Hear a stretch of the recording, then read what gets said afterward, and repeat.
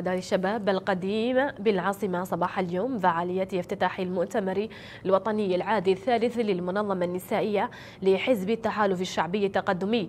المنظم تحت شعار المرأة التحالفية على المسار على المسار ماضية.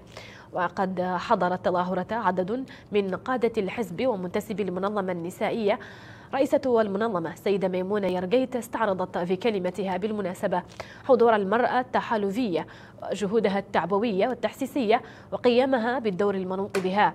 واكبتها للأحداث والقضايا الوطنية وقالت إنه من أجل إنجاح هذا المؤتمر تم تشكيل ثمان لجان خمسة في الداخل وثلاثة في نواكشوط أشرفت على عملية الانتساب وتنصيب هيئات الحزب ضمانا لإشراك الجميع.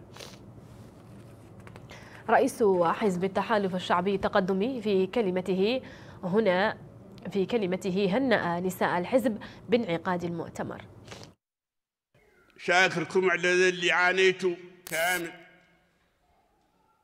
شاكركم على صبركم عليه كامل.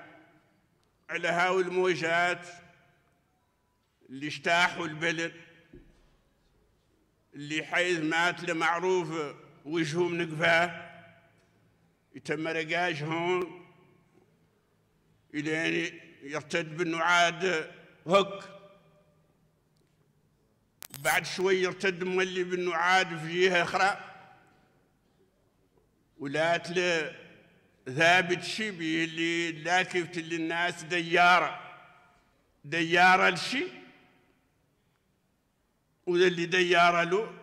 لا شك بأنه كان اللي لا لمصلحه الموريتانيين والموريتانيات والجمهورية الإسلامية الموريتانية ما يقد ينال يكون بالصبر والثبوت.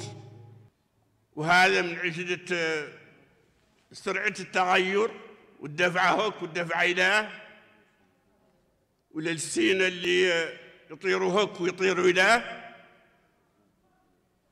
أقل ما يقال عنه بأنه بعد ما هو ديارة عن مصلحة موريتاني والموريتانيين والموريتانيات.